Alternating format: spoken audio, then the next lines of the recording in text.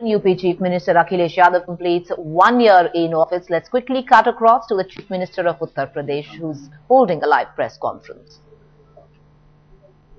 इन एक साल में जो एक साल गुजरा है इसमें मैं समझता हूँ जनता का लोकतंत्र पर भरोसा बढ़ा है जनता ये महसूस कर रही है कि लोकतंत्र में जो सरकार चुनी जाती है और सरकार जो वादे कर करके सरकार बनती है, उनको भी पूरा कर सकती है और लोकतंत्र पे एक साल में भरोसा बढ़ा है मेरा कहना और कई बार बातचीत से ये महसूस हुआ है कि लोग खुली सांस भी ले रहे हैं और अपने आप को फ्री महसूस कर रहे हैं। तो ये भी भरोसा समाजवादी पार्टी ने देने का काम किया है। न केवल सांस लेने का, बल्कि काम का भी, खुलापन काम को भी फ्री करने का मौका समाजवादी सरकार में मिला है। इस एक साल में बहुत बड़े, बहुत लोग भी आए हैं उत्तर प्रदेश में। राष्ट्रपति जी जो देश के हैं, उत्तर प्रदेश पहुँचे वर्ल्ड बैंक के भी प्रेसिडेंट आए बड़ी संख्या में एम्बेसडर लोग आए। आगरा में जब समिट हुई तो उसमें भी बहुत बड़े पैमाने पर उद्योगपति आए। लखनऊ में अभी कुछ दिन पहले जो यूएस आईबीसी बिज़नेस के लिए जो समिट की, उसमें भी बड़ी संख्या में उद्योगपति और देश के बड़े लोग भी आए और दुनिया के तमाम मुल्कों के लोग भी पहुँचे। बिल गेट फाउंडेशन के बिल गेट्स भी आए और उनकी पत्नी जो देखभाल कर रही हैं, उस कार्यक्रम को, योजनाओं को, बच्चों के बीच, मिलिंडा फाउंडेशन को चला रही मिलिंडा भी आई तो कहीं ना कहीं समाजवादी पार्टी की सरकार ने एक मौका दिया लोगों को आने का। और सरकार ने उनका स्वागत भी किया, सम्मान भी किया, और इस भरोसे के साथ कि उत्तर प्रदेश में जब इन्वेस्टमेंट होगा, न केवल उत्तर प्रदेश खुशहाली के रास्ते पे जाएगा, बल्कि यहाँ के आम लोगों को आम यहाँ के उत्तर प्रदेश के लोग हैं, उनको भी कहीं ना कहीं उसका लाभ पहुंचेगा। क्योंकि प्रति व्यक्ति आय बढ़ जाए, लोग खुशहाली की तरफ़ चल दें, यही किसी हर सरकार का लक्ष्य होना चाहिए और संकल्प भी समाजवादी का है। और जब से घोषणा पत्र पे काम करना शुरू किया समाजवादी पार्टी ने, घोषणा पत्र का में जो लिखी बातों को हम लोगों ने जनता के बीच में उतारने का काम किया।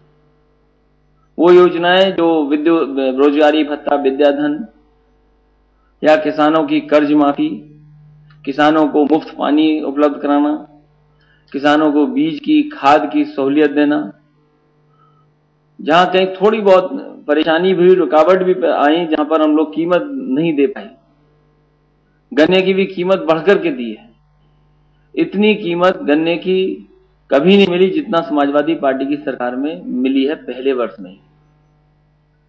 और उत्तर प्रदेश में पिछली सरकार ने कोई उद्योग नीति नहीं बनाई।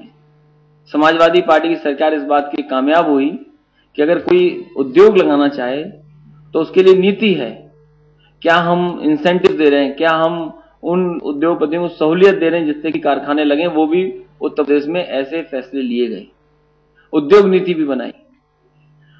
शिक्षा के क्षेत्र में भी काम हुआ है। शिक्षा के मेडिकल कॉलेज बंद पड़े थे, उन्हें भी चलाया है। और भी तमाम सरकार ने फैसला लेने का काम किया है। और मैं समझता हूँ, एक साल में ये दावा कर सकते हैं हम लोग और कह सकते हैं कि उत्तर प्रदेश का स्थायी विकास कैसे हो, उसका रास्ता हम लोगों ने बनाया और खोला है। कि उत्तर प्रदेश किस रास्ते पर चले? फोर लेन से सड़कें जुड़े मुख्यालय तक, बिजली का इंतज़ाम हो स्वास्थ्य सेवाएँ बेहतर हो।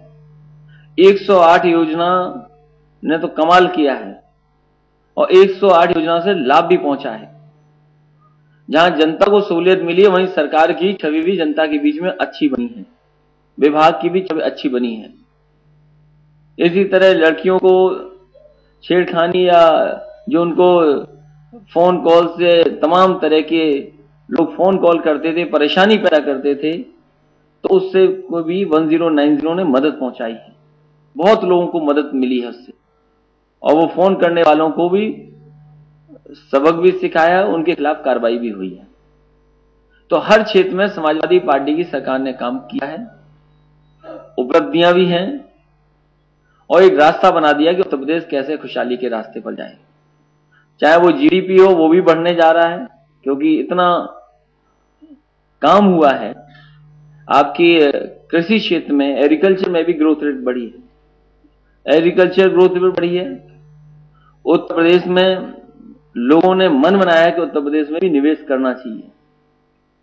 तो इसलिए उत्तर प्रदेश को खुशहाली के रास्ते पर, तरक्की के रास्ते पर और हर वर्ग के लोगों को साथ लेकर के चलने का काम समाजवादी सरकार ने किया है।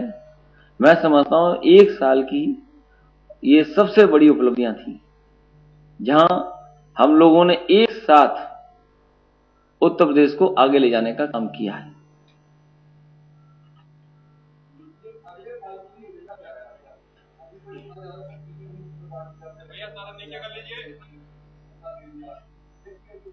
मैंने इसीलिए कहा कि स्थायी विकास और डेवलपमेंट ओरिएंटेड फैसले लेंगे कि जैसे फोर लेन सड़कें बने, मुख्यालय जुड़े बजट में भी मैंने पढ़ा था उन सड़कों को, उन पुलों को, जो बनने जा रहे हैं इस वर्ष में।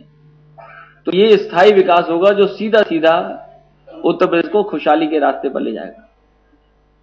जब सौ दिन पूरे हुए थे तो प्राइवेट पार्टनरशिप से जो सड़कें बनने जा रही थी, उनको भी हम लोगों ने टेकअप कर लिया था।